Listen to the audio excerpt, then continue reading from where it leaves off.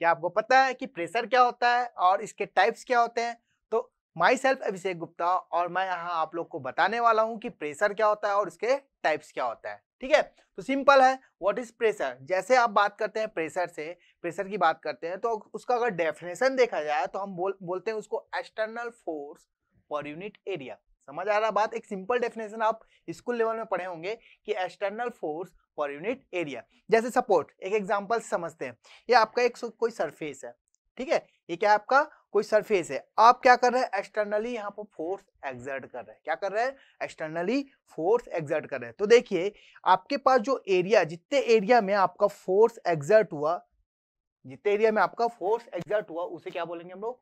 Pressure clear तो देखिए, अगर सिंपल डेफिनेशन अगर मैं लिखूं यहाँ पर व्हाट इज़ प्रेशर तो देखिए what is pressure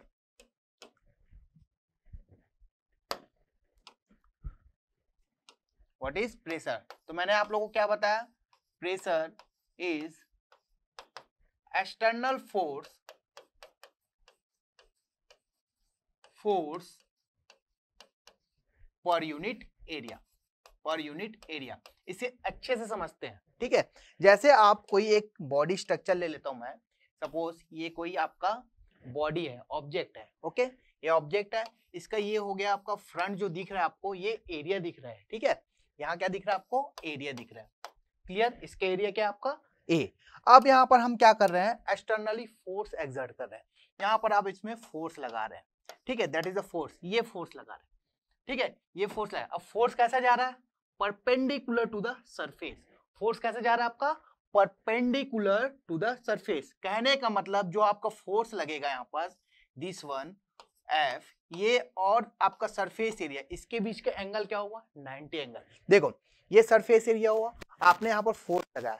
तो ये मेकिंग एंगल कितना बना रहा है आपका फोर्स और ये एरिया क्या एंगल बना रहा है? 90 डिग्री इसको बोलते हैं normal to the surface okay normal to the surface तो फोर्स का नेचर क्या होगा? ऑलवेज कंप्रेसिव फोर्स क्या होगा? ऑलवेज कंप्रेसिव फोर्स देखिए तो इसको हम लोग रिप्रेजेंट करते हैं। किससे रिप्रेजेंट करते हैं हम लोग? इसे हम P से रिप्रेजेंट करते हैं ओके एंड एक्सटर्नल फोर्स को F से रिप्रेजेंट करेंगे। F अपॉन ए ये आपका सिंपल फॉर्मूला हो जाएगा प्रेशर का। F बाई ए यहाँ तक क्लियर और मैं क्या लिख सकता हूँ? एक्सटर्नल फोर्स अपॉन एरिया अगर और आपको डेफिनेशन लिखना है तो हम यहाँ पर क्या लिख सकते हैं? Normal normal compressive force compressive force per unit area per unit area it is clear okay तो समझ आया? प्रेशर क्या होता है? फोर्स अपॉन एरिया अगर यूनिट की बात किया जाए, अगर यूनिट की बात किया जाए तो क्या देखने को मिलेगा आपको? यूनिट सिंपल ठीक है? बहुत सिंपल है। यूनिट क्या होता है? फोर्स का यूनिट क्या होता है भाई? बताइए। ये होता है बेटा न्यूटन, है ना? और एरिया का यूनिट क्या होता है? Meter square. तो डेट मीन्स आप इसका यूनिट अगर देखेंगे तो आपको मिलेगा यहाँ पर न्यूटन पर मीटर स्क्वायर। और आपको देखने को मिलेंगे पी ए। ये क्या रिप्रेजेंट कर रहा है? पास्कल। क्या रिप्रेजेंट कर रहा है आपका? Pascal, okay? एंड कभी आपको देखने को मिलेगा मेगा पास्कल। ठीक है? Kilo pascal and B A R उसको क्या बोलते हैं? बार ठीक है? बार भी आपको देखने को मिलेंगे। एक और यूनिट देखने को मिलता है आप लोग को। T O double R torr ठीक है? ये डिफरेंट टाइप से प्रेशर का यूनिट होता है। अब जैसे आप देखेंगे कि पास्कल इसका स्टैंडर्ड यूनिट होता है। ऐसा यूनिट क्या होता है आपका? पास्कल ओके क्लियर और देखने को मिल जाएगा, जैसे न्यूटन पर मीटर स्क्वायर है तो न्यूटन पर एम एम स्क्वायर भी देखने को मिलेगा। तो ये हो गया बेटा सिंपल प्रेशर तो प्रेशर क्या है भाई? External force per unit area ये किसकी बात होगी ओनली बॉडी अगर बात करता हूँ मैं फ्लूड की, किसकी बात करते हैं हम? फ्लूड की। तो देखिए फ्लूड का तो आपको चेंज देखने को मिलेंगे। सपोज़ सपोज़ मैं एक कंटेनर ले लेता हूँ। क्या ले लिया हम? यहाँ पर कंटेनर ले लिए ओके अब कंटेनर में आपका क्या फ्लूड फील है। यहाँ पर सपोज़ आपका फ्लूड फील है। ठीक है? ये आपका क्या है? फ्लूड है। ये फ्लूड में भी लिक्विड हो सकता है, केरोसिन हो सकता है, मर्क्यूरी हो सकता है, डिफरेंट टाइप से कुछ भी हो सकता है। अब मुझे बताइए, जो ये फ्लूड है, ये जो आपका कंटेनर है, यहाँ पर कुछ फोर्स एक्सर्ट कर रहा है? कहने का मतलब क्या हो रहा है? ये फ्लूड क्या कर रहा है? इस बॉडी पर फोर्स एक्सर्ट करता है। वो फोर्स क्या है आपका? Pressure force. क्या है? Pressure force. ये जो फोर्स एक्सर्ट किया, वो क्या है आपका? Pressure force. तो अब मैं यहाँ पर एक प्रेशर डिफाइन करूँगा। अगर सपोज़ इस पॉइंट की बात करेंगे, इस पॉइंट की बात करेंगे इस पॉइंट की बात करें तो आपको डिफरेंट पॉइंट पर डिफरेंट प्रेशर की वैल्यू मिलेगा। तो इसके लिए हाइड्रोस्टोटिक लॉ क्या बोलता है?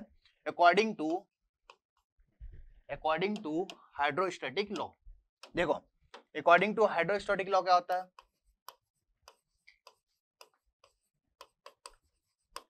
हाइड्रोस्टेटिक लॉ तो हाइड्रोस्टेटिक लॉ क्या बोलता है? P is equal to rho G H अब इसके समझिएगा आप लोग P equal to rho G H where P is equal to pressure at a point and rho is equal to density of the fluid and G is a gravitational acceleration due to gravitational h क्या height from the free surface of the liquid ये suppose free surface है, यहाँ से आपका height देखने को मिला। तो हाइड्रोस्टैटिक लॉ क्या बोलता है? जैसे जैसे आप डाउनवर्ड डायरेक्शन में जाएँगे तो प्रेशर की वैल्यू क्या होगी? इंक्रीज होगी। क्या होगी भाई? इंक्रीज होगी। तो हम बोल सकते हैं, अगर इस पॉइंट की वैल्यू इस पॉइंट ये पॉइंट ये जो पॉइंट दिख रहा है तो डाउनवर्ड डायरेक्शन में जैसे जैसे आप जाएँगे तो प्रेशर की वैल्यू क्या होगी? इंक्रीज होगी। ये कौन बोलता है भाई? हाइड्रोस्टेटिक लॉ तो फ्लूड के केस में क्या होगा? P is equal to rho G H is it clear okay, अब आगे मैं आप लोग को क्लासिफिकेशन बताऊँगा। दैट मीन्स टाइप्स बताने वाला हूँ। प्रेशर के टाइप्स तो देखिए, आप टाइप्स बात करते हैं types of pressure types of pressure ठीक है? टाइप्स ऑफ़ प्रेशर में देखिए, आप कभी नाम सुने होंगे एप्सलूट प्रेशर या फिर वैक्यूम प्रेशर या फिर गैच प्रेशर या फिर एटमॉस्फेरिक प्रेशर। समझ आ रही बात? मैं कहने का मतलब ये है कि डिफरेंट टाइप से प्रेशर की वैल्यू हम नाम सुने होंगे। एक्चुअल में होता क्या है?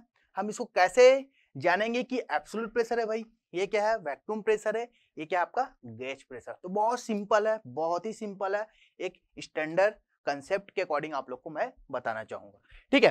तो देखिए तो डिफरेंट टाइप से प्रेशर कौन कौन से होते हैं? जैसे मैं फ़र्स्ट नाम लिखना चाहूँगा। Absolute pressure. Absolute pressure. Okay and second one is हम बात करेंगे atmospheric pressure atmospheric pressure okay and third one मैं बात करूँगा गेज प्रेशर गेज प्रेशर ठीक है? एंड फोर्थ वन हम बात करेंगे वैक्यूम प्रेशर वैक्यूम प्रेशर ठीक है? ये फोर टाइप से प्रेशर आप लोग को देखने को मिले। तो अब बात करते हैं what is the absolute pressure what is atmospheric pressure and what is gas pressure and what is vacuum pressure simple सी बात है।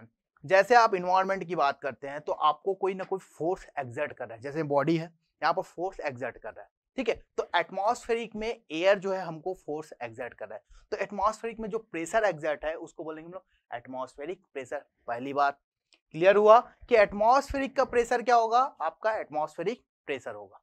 यहाँ तक क्लियर हुआ। सेकंड सेकंड अगर आपको एब्सोल्यूट प्रेशर मेज़रमेंट करना है, आपको जानना है कि एब्सोल्यूट प्रेशर क्या होता है वैक्यूम प्रेशर क्या होता है गैस प्रेशर क्या होता है, देखो, बहुत इजी है, मैं कुछ लाइन ड्रॉ करूँगा, उससे समझ आएगा। आपको ऐसे डायरेक्ट बोल दिया जाएगा तो आपको समझ नहीं आएगा। तो देखिए, अब मैं क्या कर रहा हूँ? बहुत सिंपल है, बहुत ही सिंपल है। तो देखिए, यहाँ पर मैं एक एक्सिस लेता हूँ। एक हम यहाँ पर एक्सिस लेते हैं। ठीक है? Vertical axis and horizontal. Axis ठीक? अब मैं क्या बोल रहा हूँ यहाँ पर से, यहाँ पर हम लोग वर्टिकल एक्सिस में हम प्रेशर को मेज़रमेंट करेंगे। क्लियर है? अब बात करता हूँ मैं, अगर किसी चीज़ को मेजर करना है आपको, समझ आ रहा? मेज़रमेंट की बात करेंगे तो आप उसके लिए क्या डिसाइड करते हैं? एक रेफरेंस पॉइंट होना चाहिए। समझ आ रही बात मेरी? एक रेफरेंस पॉइंट हमको एक रेफरेंस पॉइंट पता होना चाहिए। जैसे रेफरेंस पॉइंट हम लोग डिसाइड करते हैं कि ज़ीरो लाइन समझ आ रहा है? ज़ीरो लाइन को हम बोलते हैं रेफरेंस पॉइंट क्या होगा? रेफरेंस अगर मैं बात करूँ ट्वेंटी को अगर रेफरेंस पॉइंट लेना चाहूँ मैं, एक स्केल में ट्वेंटी या फिफ्टी या फिर सेवेंटी जो भी है, आप एक एक्सिस को रेफरेंस पॉइंट लेंगे। तो इंपॉर्टेंट पॉइंट यहाँ पर ये कि रेफरेंस पॉइंट ही आपका इंपॉर्टेंट पॉइंट है। उस रेफरेंस पॉइंट के अकॉर्डिंग हम प्रेशर को मेज़रमेंट करेंगे। तो जैसे हमें पता चल गया कि हमारे इन्वायरमेंट के इन्वायरमेंट में जो प्रेशर फोर्स एग्जर्ट कर रहा है, वो क्या है? एटमॉस्फेरिक प्रेशर तो देखिए, एक ज़ीरो प्रेशर की बात किया मैं ज़ीरो प्रेशर सेकंड किसी बात किया एटमॉस्फेरिक प्रेशर ठीक है? तो मैं यहाँ पर एक लाइन ड्रॉ करूँगा। एक लाइन और ड्रॉ करते हैं अपन यहाँ पास। हम यहाँ पर बोला जा रहा है यहाँ पास क्या? This line is called zero pressure line क्या बोल रहा हूँ मैं इसको? ज़ीरो प्रेशर लाइन जो आपका रेफरेंस पॉइंट क्या है यहाँ पर? ज़ीरो है। ज़ीरो से स्टार्ट किया ठीक है?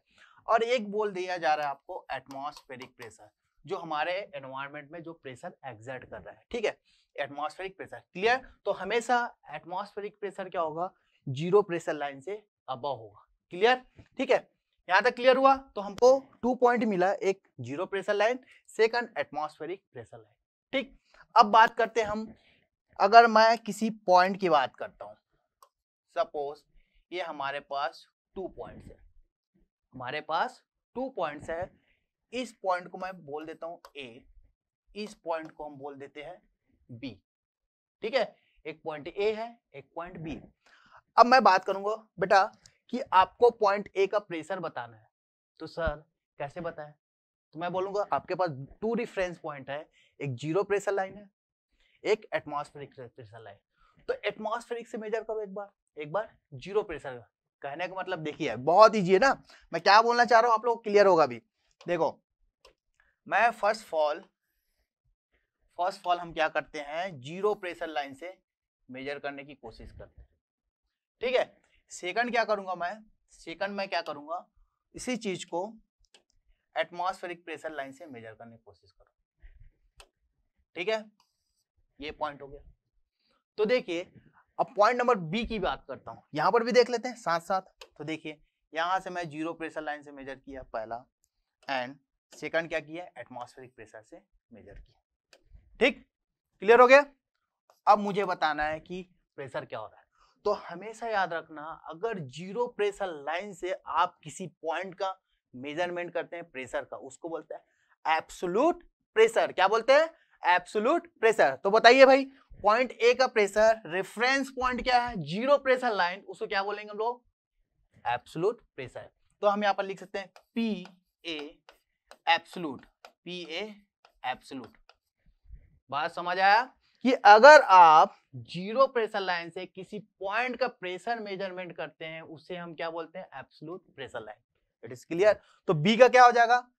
P B absolute P B absolute is it clear similar to similar to atmospheric pressure line से मैं मेजर करने वाला हूँ। ठीक है? अब आप यहाँ से मेजर करेंगे तो आपको इस पॉइंट का प्रेशर मिलेगा पी ए जी और जी क्या रिप्रेजेंट कर रहा है भाई? गेज प्रेशर तो कहने का मतलब ये हुआ बेटा कि अगर आप एटमॉस्फेरिक के अकॉर्डिंग किसी पॉइंट का प्रेशर मेज़रमेंट करते हैं, वो क्या कहलाता है आपका? गेज प्रेशर तो जितने भी इंस्ट्रूमेंट्स है, उसमें क्या मेज़रमेंट करते हैं हम लोग? Gauge pressure. क्लियर? तो पॉइंट बी का क्या हो जाएगा भाई? P B G. क्लियर हुआ? P B G. Reference point क्या है? एटमॉस्फेरिक प्रेशर मेरे ख्याल से आप लोगों को ये क्लियर हो गया कि what is the atmospheric pressure what is zero line pressure what is absolute pressure what is gauge pressure अब बात आती है वैक्यूम प्रेशर की। क्या बात आती है? वैक्यूम प्रेशर से। तो देखो तो हमेशा हमको क्या मालूम होना चाहिए? हमको क्या मालूम होना चाहिए? रेफरेंस पॉइंट ठीक है? तो एब्सोल्यूट प्रेशर में हम रेफरेंस पॉइंट क्या लिए भाई? रेफरेंस पॉइंट लिए ज़ीरो प्रेशर लाइन क्या लिया भाई मैं? Zero pressure line and atmospheric pressure line तो ये तो आपका एक पॉइंट हो गया.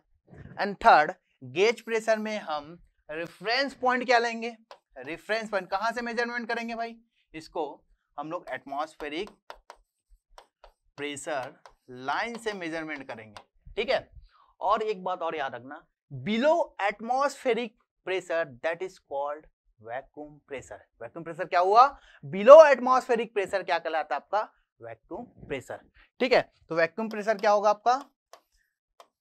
Below atmospheric pressure that is called vacuum pressure is it clear अगर मैं इक्वेशन बनाना चाहूँ यहाँ पर, अगर हम यहाँ पर इक्वेशंस बनाने चाहें तो देखिए आप बहुत सिंपल इक्वेशन बना सकते हैं। पी एब्सोलूट पॉइंट ए की बात करते हैं।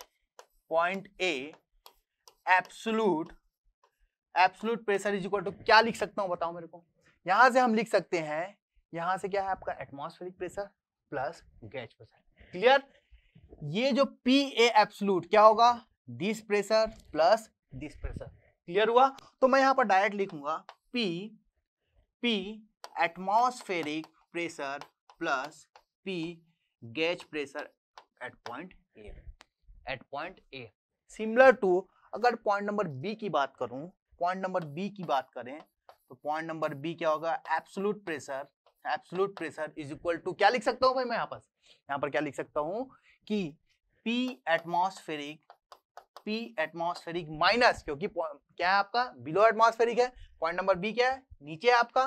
तो minus P gauge pressure at point B at point B तो बताइए मुझे एब्सोलूट प्रेशर हमेशा क्या होगा? देखो एब्सोलूट प्रेशर हमेशा पॉजिटिव मिलेगा। क्या मिलेगा? पॉजिटिव बट आपका अगर गेज प्रेशर की बात करें may be positive may be negative और वैक्यूम प्रेशर क्या होता है? Below atmospheric pressure that is called vacuum pressure clear तो फाइनल इक्वेशन मैं अगर लिखना चाहूँ यहाँ पर तो फाइनल इक्वेशन में यहाँ पर लिखना चाहूँगा तो P absolute is equal to atmospheric P atmospheric plus minus P gauge this is the final equation this is final equation okay तो समझ आया भैया आप लोग को कि what is the absolute pressure what is vacuum pressure what is gas pressure ठीक है? क्लियर तो इस वीडियो को देखिए और लाइक एंड शेयर कीजिए। ऐसे ही वीडियो आप लोग को बहुत सारे मिलने वाले हैं। डिफरेंट डिफरेंट सब्जेक्ट में डिफरेंट डिफरेंट फैकल्टी मेंबर्स लोग, हमारे स्मॉल कंसेप्ट बिग धमाका में आप लोग को वीडियो प्रोवाइड करना है। जैसे आपको कुछ दिक्कत हो किसी टॉपिक पर तो आप हमें कमेंट कीजिए। उसके बिहाफ में हम लोग वीडियो बना के आप लोग को प्रोवाइड करें। तो okay thank you very much